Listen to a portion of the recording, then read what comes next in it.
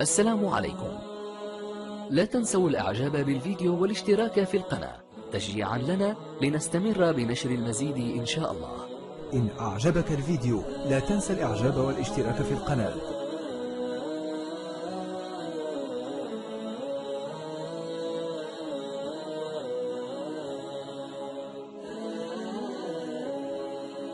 السلام عليكم.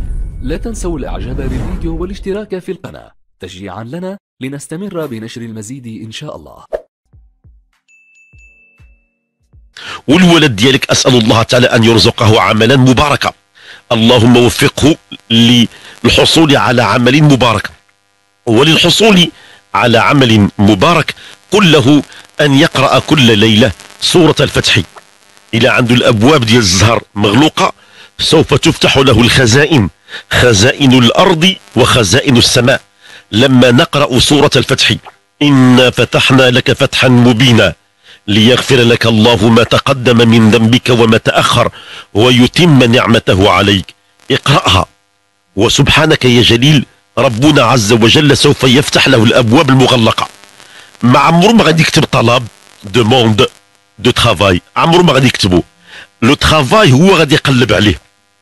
العمل هو غادي يقلب عليه. وهذا الكلام كنقوله صادق والله رأيت أناسا كثر. ما بحثوا على عمل. كاين اللي قاري كاين اللي ما قاريش كاين اللي مستوى بسيط. وعمره ما, ما يعرفش يكتب demande de travail. طلب ديال ديال الحصول على عمل. ما كيعرفش ليه. و واشتغل. سبحانك يا جليل بهذه الصورة. فإذا بالعمل يبحث عنه. العمل يبحث عنه. يدق بابك. والله كلام ليس كلام خيال. ولا كلام آه، آه، دغدغة عواطف وإنما هو كلام صادق رأيته بالعين المجردة مرات متعددة. الخير هو يبحث عنك مع العلم أن الرزق نوعين كما كان يقول سيدنا علي ابن أبي طالب كرم الله وجهه يقول بأن الرزق نوعين رزق تأتي إليه ورزق يأتي إليك. فالرزق الذي تأتي إليه خصك دير الأسباب وخصك تقرأ مزيان.